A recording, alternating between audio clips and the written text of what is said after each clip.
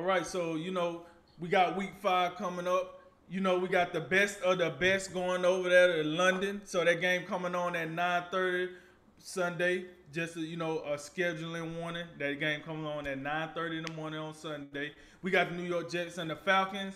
Um, the big game we got on NBC, we got a rematch of the uh, AFC Championship, the Buffalo Bills versus the Kansas City Chiefs. So with that said, Jay, what else you looking forward to with the uh, Sunday and Monday action? Hey, folks. Uh, yeah, I know we got an early London startup, but uh, I, I wouldn't. I, am not gonna hold nobody. I ain't gonna hold against nobody if y'all sleep in on that one. You know, you had a long Saturday night. You stayed up. You know, God forbid you stayed up and watched some late Pac-12 action y'all go ahead. hey, hit the snooze button for a little bit. I don't think I think you'll survive that one. Uh, but you know, outside of that, I think um, I'm looking at Denver and Pittsburgh. That's one that I'll, have an eye on. I'm seeing um, I'm seeing two teams on you know opposite ends of the spectrum right now. I see Denver as an uh, as a team on the ascent. They weren't they weren't very good against uh, Baltimore last week, particularly offensively. We know Teddy Bridgewater knocked knocked out the game with the concussion. Um, he is he is going to start if he clears that uh, concussion protocol, which I think would be in their benefit if he can do that, because uh, Drew Lock was not very good at all in relief. And then, but it, but then on the flip side, Pittsburgh, it looks like they're on the decline, the decline right now. but uh, Denver's only favored by one point in this game. It is at Heinz Field, so does Pittsburgh? And I know it's getting late out here because it's one and three, but it already feels like Pittsburgh getting too far behind. Um, I think this is the game. If Pittsburgh's going to make a stand and start to right the ship, so to speak, um, it's got to be this one. I do think Denver, though, is going to get it done. If Teddy Bridgewater plays, if Drew Lock is coming out there, I think it gets a little bit more dicey uh, just with the way uh, he doesn't doesn't take care of the football. Uh, th- Miami and Tampa, I think that stands out a little to me. I think Tampa's uh, Tampa's got some injury concerns right now. This secondary is just a mess. Anytime you're out here you know, uh, you've called up Richard Sherman from Off the Street uh, Incorporated, uh, fresh off whatever charges that he's dealing with. And then you got, don't get me started on Ross Cockrell, for God's sake. But uh, when you got Carlton Davis and uh, Murphy Bunting and Jamel Dean, uh, the whole cornerback room is off. Antoine Winfield, he ain't playing in this game either. So they got problems all over the place in the secondary. Also, I think Gronk's to miss another game. So um, I, Tampa Bay, I think this is still a game uh, they should win because the you know I believe Jacoby Brissett is still in line to start another game for Tua, and Tampa Bay is a ten point favorite in this game. So I think Tampa will win the game, but they are vulnerable um, at, at certain positional groups, particularly in the secondary. So you know they they could that could be a lot of points scored in that one. And I think a couple more stand out. I'll just I'll just stick with the Saints and uh, the old football team, and I'm particularly interested in the in the Saints portion of this. I'd like to know who the Saints are at this point. We've seen week one they good, week two they're not good, week three they good, week four not good. Like which who are the Saints? Like we got some like we out here losing to the Giants last week, uh, and I'm just I'm just I, I was really hoping to start a weekly subject where we could just you know, just pull up the slate and say, okay, time for the Where Are You New York segment, where we say, will New York get their first win this week? And then both teams just somehow get a win thanks to the Titans and the Saints substandard play.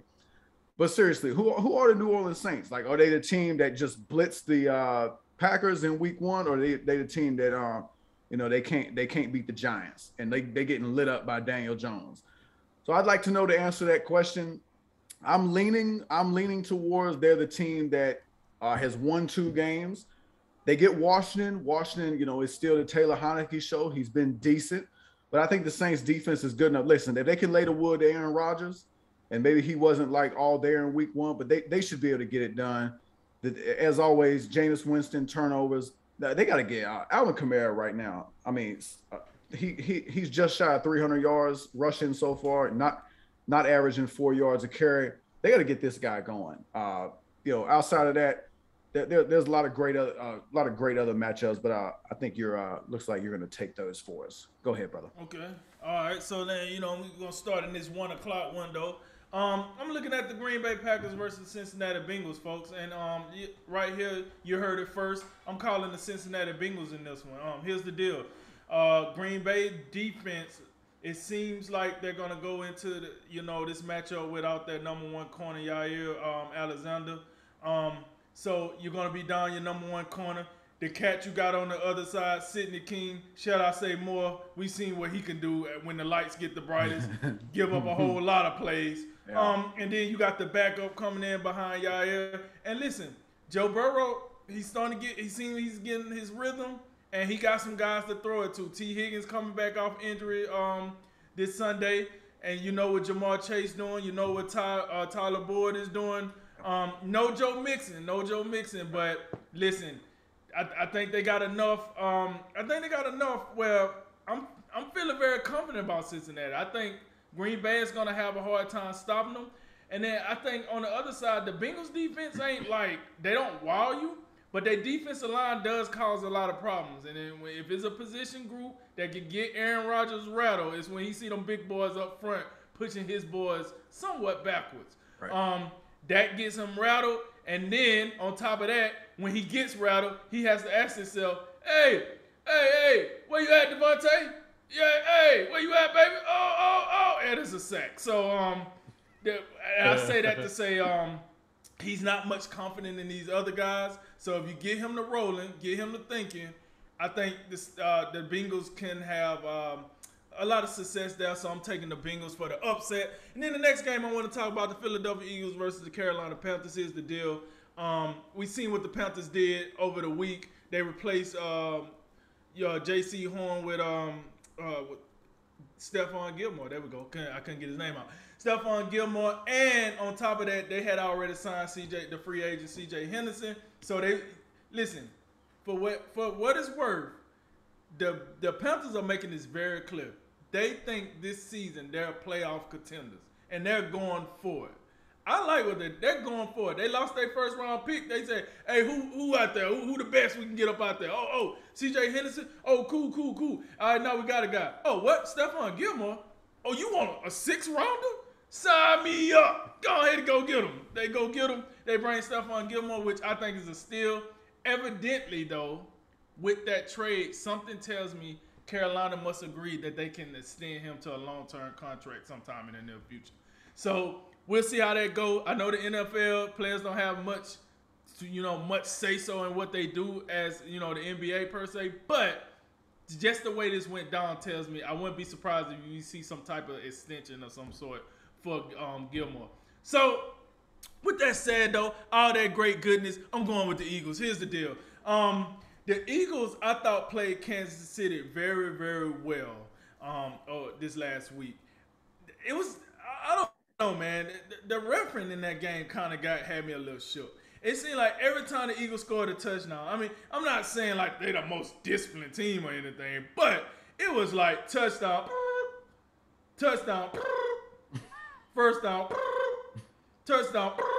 I was like, man, the Eagles can't catch a break. They can't get. They literally. What is going on here? Um, if Jalen Hurts would have got the credit that he deserved, man would have threw for like five touchdowns. Like they was going off, but they, I don't know what's going on with that referee now. So, and Philadelphia was at home. Like, what? Come on, what? I thought we were supposed to get the home cooking, baby. But I guess not. Um, so with that said, I thought Philadelphia showed me enough in that game. Sam Darnold, he missing his boy CMC in the back. Um, and I think you could put more pressure on him because you know he he looking for um, DJ Moore most of the time. He got he got the speech to Robert Anderson, but I, am gonna be real. Um, listen, that bag up, he ain't getting it done. They they need Christian McCaffrey back like yesterday. Um, he's cool, but he's just not enough. He's not, or should I say, he's not up to standard enough that where Sam Darnold could continue doing what he was doing when he had Christian McCaffrey. I say that. Um, so yeah, I'm, I'm, I'm gonna take yeah I'm gonna take the Eagles in that one in the upset. And then I'm down in the four o'clock window. I'm looking at the Cleveland Browns versus the um, Los Angeles Chargers. Here's the deal: we we know what Justin Herbert been doing. He's been bringing in the goods since he's been in the league. I, I love to see it. However, I think this Sunday he's gonna be running for his life because as good as that offensive line is, you telling me you're gonna put this rookie against Myles Garrett? I'm taking Myles Garrett. Um, and then you you talk about the other side of the line. Listen, Cleveland been kind of sleepwalking a little bit. I'm not gonna lie, the defense hasn't really played to what I thought I was gonna see. However, I think this is gonna be one of the most intimidating defenses that Justin Herbert is gonna deal with, and I think they have the athletes to make the likes of Mike Williams work for what he's gonna get, Keenan Allen work for what he's gonna get, and and, and Austin Ekeler will be probably their best weapon in this game. But I got a feeling Cleveland might have something for that. So with that said, Justin Herbert's gonna have to earn it. If if the Chargers win this game, Justin Herbert's gonna really have to. He's gonna put the team out there on his back. I think that Cleveland defense is built to give the Chargers a very hard time. I'm taking Cleveland in, in this one, but I'm gonna say this. Also, Cleveland's offense. I think a Baker Mayfield might have the game that we waiting on him to have. He hasn't really had that game this season where he's just like, man, he's been efficient, but he hasn't been eye popping. He hasn't been box office. Um, I think this game, even though the Chargers, Chargers got a very good pass rush. Uh, Bosa, hey, these boys out here playing very good. However, I also think Cleveland got an offensive line that can stone them a little bit. So I'm I'm gonna take Cleveland in this one. I think Cleveland gonna uh, have Justin Herbert running running for his life in this one. And then the main event, the big game, you know, as I call it, um, Sunday night, NBC, Cris Collinsworth, Al Michaels, you know what it is. Sunday night football. All right, so we got the Chiefs, two and a half point favorites, even though they haven't brought defense since the preseason. And then going against the Bills, like I said, it's a rematch of the AFC Championship game. Yes, folks, I'm also I'm calling the Bills in this one. I, I think, listen, Josh Allen, as long as he had that confidence and know who he is and what their team is, I think they have a very good chance of keeping up with with the Chiefs and beating the Chiefs. I just they have to come into the stadium with that confidence because the game is in Arrow, Arrowhead, so they're gonna need to come in there with the confidence that they can beat the Chiefs. And if they do that, they will beat the Chiefs because I think the Buffalo Bills are a better team than the Chiefs right now. On, because yeah, okay, you want to give me Patrick Mahomes? Okay, Patrick Mahomes is better than Josh Allen. I ain't gonna argue that. You know, I'm not gonna argue that. If you want to tell me Tyreek Hill is better than Stefon Diggs, okay, cool. But Stefon Diggs is better than anybody else Kansas City got. And I like Travis Kelce, I really do. But I mean, listen, I, I don't think the guy, you know, um, Knox over there. I don't think he's like roadkill. And then off the offensive line, we're gonna compare the offensive lines. I think that's a, a win for Buffalo in, in, the offensive line department. Then we go to defense. I know we ain't gonna talk about defense. We're talking defense. So we know who got the better overall defense. I mean, even if you take the big money guys out of the situation, we know who got the better uh, the defense. So you know, um, if you want to go ahead, coach, and I give Andy Reid that that that check in the box on McDermott, but when it's all said and done, I think Buffalo comes in now. They do what they got to do. They beat their chest. They beat Kansas City, and they make a statement to. They make a claim at the statement of being the number one team in the AFC.